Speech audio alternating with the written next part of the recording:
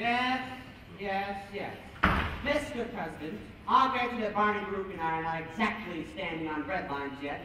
No, I'm not asking for your help. I've never asked for any man's help and I never will, but, but I'm telling you that you've got to do something and do it darn fast. All right, good. We'll talk about it on Friday. All right, Friday, at the White House. Goodbye, Mr. Listen, Mr. President. Why don't we bury the hatchet and you come here with Mrs. Roosevelt for supper, Christmas, on your way to Hyde Park. Good, I'm delighted. Goodbye, Mr. President.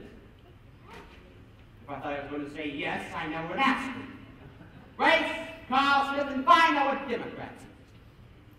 Yes, sir. The, the package certificates. Yes, sir. Arrived this morning. Fine. I'm going to give this thing to her and tell her I don't want to die. Where is it? She's upstairs writing another letter to her friends at the orphanage.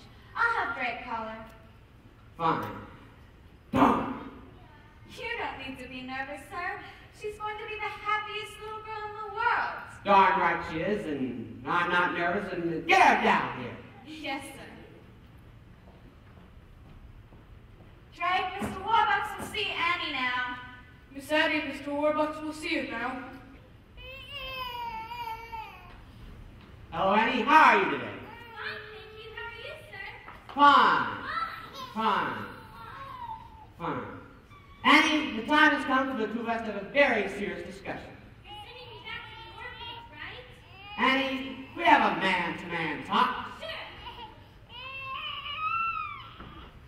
I was born into a very poor family in what they call Hell's Kitchen, right here in New York. Both of my parents died before I was 10. And I made a promise to myself.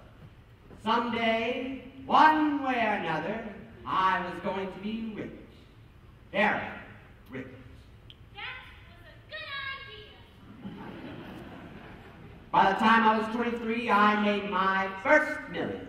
Then, in 10 years, I turned that into a hundred million. Oh, in those days, that was a lot of money. anyway, making money is all I've ever given a darn. And I might as well tell you, Annie, I was ruthless to those I had to climb over to get to the top. Because I always believed in one thing. You don't have to be nice to the people leaving on the way up if you're not going back down again. But lately I've realized something. No matter how many Rembrandts or Duesenbergs you got, you have no one to share your life with. If you're alone, you might as well be broke and back in hell's kitchen. You understand what I'm trying to say? Sure. Good. Kind of. Kinda. I guess. Darn. I was in yesterday and I picked up this thing for you.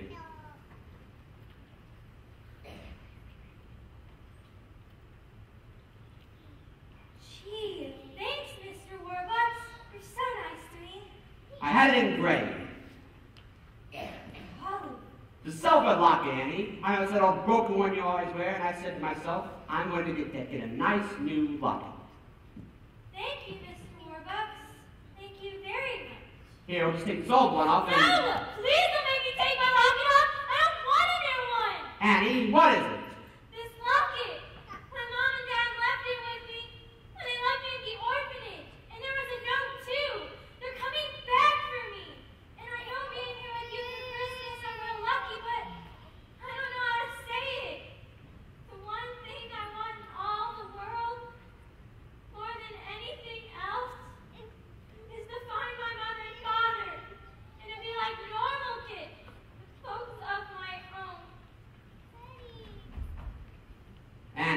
It'll be all right. I'll find them for you. I'll find your parents for you. Thanks, baby. I'll, I'll get up, brand.